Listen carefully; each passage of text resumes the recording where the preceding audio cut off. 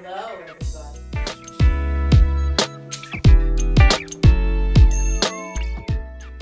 Hello, dear Sagittarius. This is your horoscope for May 2010. And now, what I have in my stars for you. This is from Sexy Astrology, in case you didn't remember me.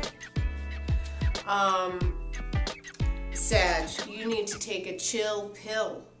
You are suffering from getting more than enough of your fair share of love. You need to give back a little bit more, brother and sister. Okay? Stop being so greedy. All right?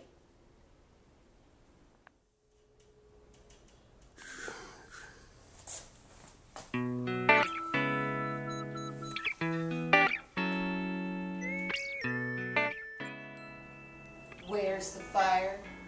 In your pants. Okay?